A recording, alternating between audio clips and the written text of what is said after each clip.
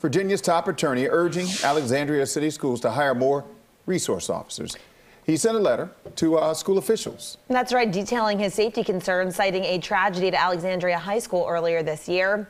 Fox 5 is your back to school station with everything parents need to know. Melanie Alnwick live in Alexandria City. Mel, lots to break down there.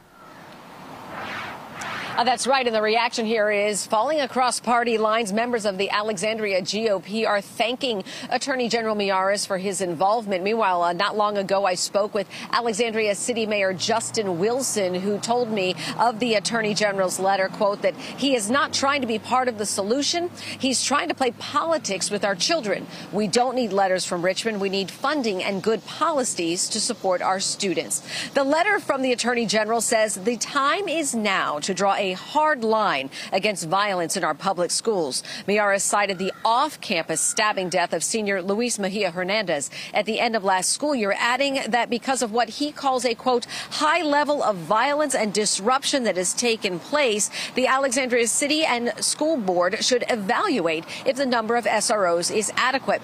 What's more, the Attorney General's letter says teachers and staff should share concerns with SROs if they notice any, quote, subtle but meaningful changes changes in a student's behavior.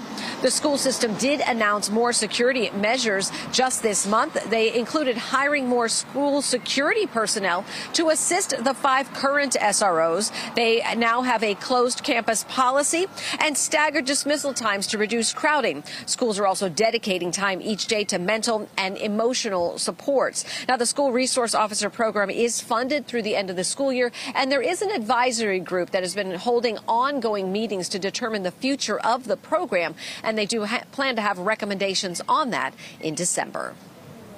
All right, Mel, thank you so much.